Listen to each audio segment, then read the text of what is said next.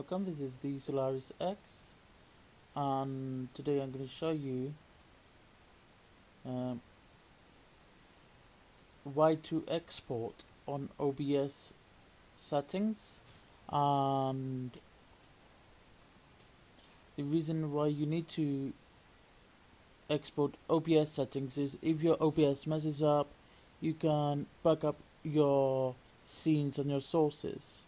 So to do so what you're going to do is go to profile export. This once you've got your sources and your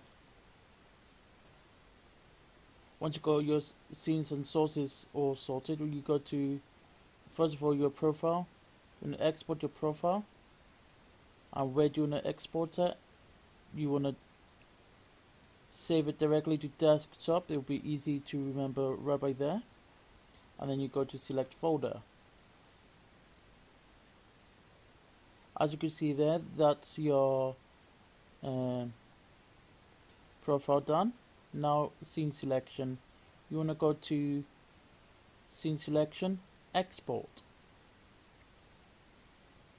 And now you want to again go to your desktop.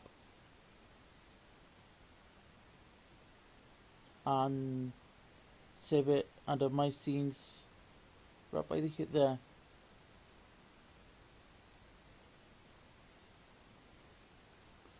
So thus saving all your um, OBS settings your sources your uh, images.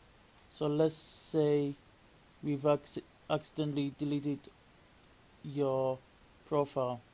For now I'm going to have an untitled profile and I'm going to delete this profile here. So I want to remove and so what we're going to do remove this one.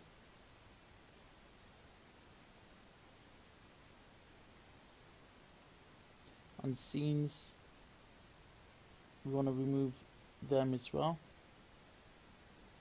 And now as you can see we haven't got no scenes no nothing because we've deleted it.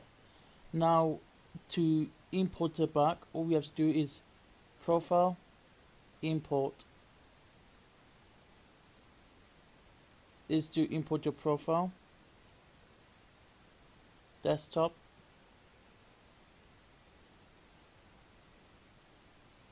my profile select folder. Now that's just the profile imported. Now you want to import your scene. Scene selection import. Go where you saved your scenes. In this case it's desktop. My scenes open. Now when we go here you can see your profile back and scenes my your scenes back. Now you have to give it a few seconds for it to re-register itself re import everything again. And as you can see there you got all your stuff back and everything is where you left it without the need of losing any of your image how you lay it out and everything like that. So that's a really good idea to have to sort of um, ex export your profile and scenes on OBS not to lose any um, images any data or anything like that. So you don't don't have to redo it over and over again. So that's a really good tool to use on OBS if you need to reformat your computer then you don't have to set up your OBS settings from scratch. I hope you've enjoyed this and all the best. Take care.